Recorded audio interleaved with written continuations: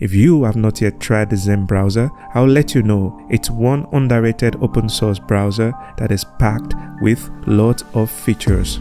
In this video, I will show you how to install Zen browser and also walk you through the setup process, basic customization options, and a few tweaks to enhance your browsing experience. Let's get started. Now to begin installation, we head on to the official website. I'll be leaving the link in the description. Proceed to this download icon, click on it. And we have three options here for Windows, Linux, and Mac OS. I'm using Windows here, so I'm just going to click on this, select this one, click on download installer. I'm going to wait for it to download. Proceed to click on this one right here, or you can check your download for the .exe file click on next next install now we proceed to launch it click on finish just gonna minimize this. Click on this arrow icon. I'm just gonna skip this. Just gonna leave it on google and i'm gonna choose discord as well and select next. And here you can pick a color but i'm just gonna skip this one. Next. Now let's dive in. Click on that here we have this release note. This is the latest version of it. Now I'm going to walk you through some basic setup. Now if you look on the left side here, on the bottom left, you're going to see this gear icon. Just click on it to open the settings. Now under general settings, which is the first one, again we're asked to make it a default, which I already did. And if you want to make it your default or not, you can choose that. And the second option here says import data. And if you want to import your data like your bookmarks and all, just click on this and select import. Done Scroll down here a bit. Now under the website appearance, uh, we have these automatic light and dark. Um, this is self-explanatory. We can change the mode right here. Okay, if you want the light or the dark mode, I'm just going to leave it on automatic. Here you have the fonts. You can change to any fonts of your choice. And you have the language here. Okay, we won't be able to cover everything regarding Zen browser in this video, but I'm going to put you through the basics. I'm going to go to the next one right here, which is look and feel. Under this browser layout, we have these three options. The first one, single toolbar is what we have here. But if you choose the multiple toolbars, you have this one on the top and you have the one on the side here. And if you go for collapsed toolbar, you have this compact toolbars, one on the left and one right on the top. I think I'm just going to go for this one on the side. Scroll down. And here we have colors. You can click on any of these to choose the color accent that you want. I'm just going to go for this first one. Now proceed.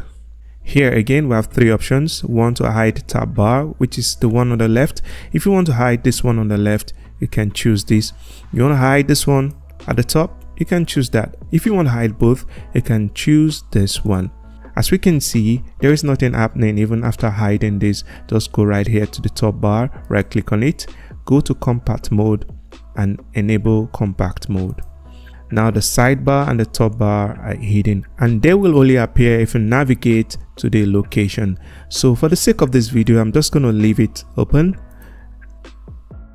now I'm going to show you how to open a new tab. Here on the left side, this plus icon, once you click on it, what we have is this browser, okay? This is not what we want. I'm going to show you how to fix this. So you go right here to the top bar, type in about colon config, tap on enter. It says proceed with caution, accept risk and continue. Click on that. I'm going to be leaving this in the description for you as well. I'm going to type in zen.url bar dot replace. Zen.url bar replace dash new tab. As we can see here it says true now we're going to change this to false by going to this icon and click on it. So if we go back again and click on this plus icon now we can see that we have this new tab opening okay? And this is what we want. So every time you click on this plus icon you're going to get a new tab Right here on the top left, you can see the weather. If you don't want this here, click on this three dots and hide weather on new tab. Now navigate to the gear icon on the right side. Here you can do all sort of customization on this browser, okay? For instance, this first one which says solid color, if you click on this, you can change the color right here. Change other colors, all right? So I'm just gonna go back here and if you don't want any of these, just go on to reset to default. Click on that is back to default. if you go to abstract it's about the same thing just click on any of these to change the design okay and if you don't want it go back again and click on reset to default same goes to the photographs right you have few options here I hope they can come up with options that allows you to use your own image and all that. Hopefully that comes pretty soon. So if you go down here, you have shortcuts.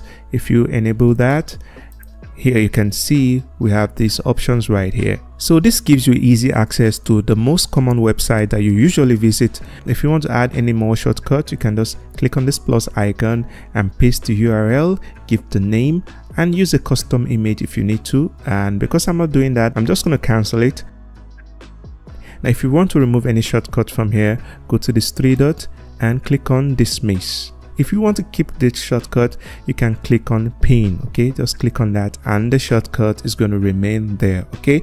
Now go back to this gear icon. If you enable this recent activity you can see that your recent activities is going to appear at the bottom here. I don't need this one so I'm just going to toggle it off. I'm just okay with this search bar and this shortcut. And as for the weather we're just going to leave it the way it is and proceed to the next one if we look on the left side here, you want to remove any of these tabs, just right click on it and select close tab. I'm going to do it for this. I'm going to do it for that as well. Now I'm going to show you how to create a workspace. If you navigate to this home icon, right click on it. And as you can see here, we have default workspace. Click on these three dots and edit workspace.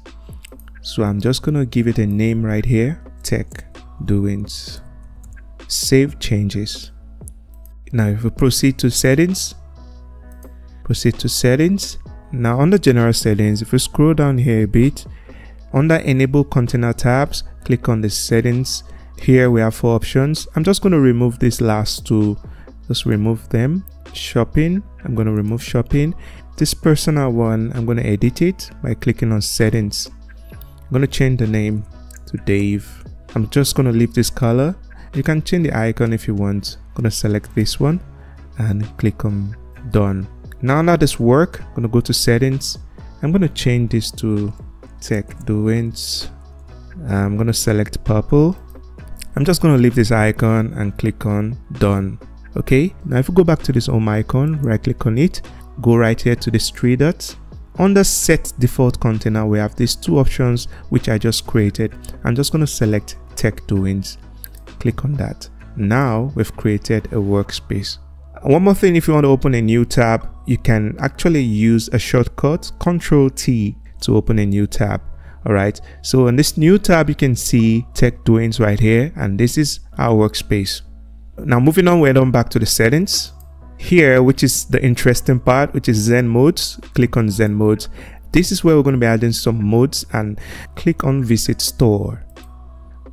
Now if you scroll down here, you can see that there are vast majority of options right here and feel free to explore any of these. So if you go back here, I'm going to search for Colab Tab X button. This one right here, click on it, scroll down a bit, select install theme. After clicking it, it looks like there's nothing happening actually, but if you navigate to the left side here, you can see we now have this icon right here to simply close any of this icon. On the normal grounds you just have to right click on it and you have to close it by closing tab. But now it's much easier to just x on this. But the downside of this is that while using these there's a chance you might mistakenly close any of this tab. But to solve that you just have to go right here to this and go to your history and get it back okay now if you go back to your settings you can see this mode we just added and if you don't want this anymore you can remove this mode. And just in case you want to temporarily disable it you can just disable it right here. Now again we go to visit store. Here we're going to search for now playing indicator. So click on that and install theme. If we go to the settings we can see it has already been installed now if go to YouTube, while this video is playing, you can see this bar icon beside this YouTube icon. Let's say you're playing any sound either on Spotify or YouTube. This is going to help you indicate where the sound is coming from. So this is a very simple mod but it's actually useful. So that's going to be all for now guys. I hope you find value in this video. If you do don't forget to subscribe to this channel leave this video a like and also share your thoughts at the comment section. Have a nice day. Peace out